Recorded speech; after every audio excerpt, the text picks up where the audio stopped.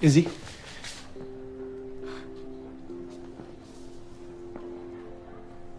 I was just gonna call you. What are you doing here? I was thinking. Life is too precious to waste any more time on stupid things like Pinky swears.